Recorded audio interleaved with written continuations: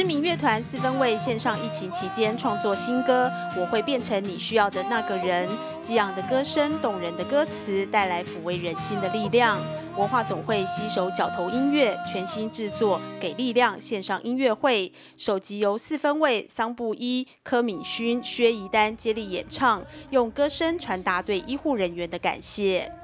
这次文总举办的《给力量》音乐会。那主要是以疗愈这样的一个元素来做规划，那希望结合呃不同的语种，啊有原住民语、有客语、有台语、有华语，那结合台湾许多的这个创作型歌手，希望用疗愈的这个元素，然后让我们这个第一线的医护人员，哦在这个呃辛苦的防疫之余，也可以透过这个音乐给他们力量。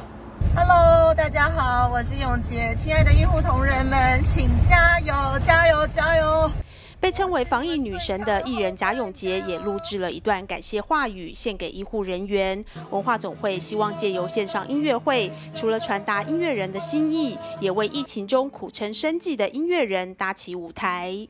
角头音乐其实过去是一个呃长期在耕耘独立音乐的一个品牌。另外，他们也透过不同的音乐展演形式，呃，结合许多的这个甚至疗愈性的音乐，都有在过去的一些呃他们的活动中来呈现。那这次其实还有一个很特别的契机，就是角头音乐的张四十三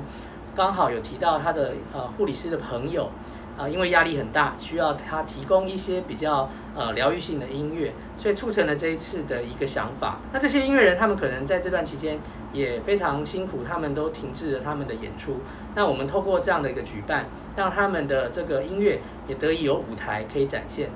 所以我们预计在四集给医护人员的这个主题之后，我们应该会在八月再推出呃给警消人员加油，给这些物流人员加油的场次。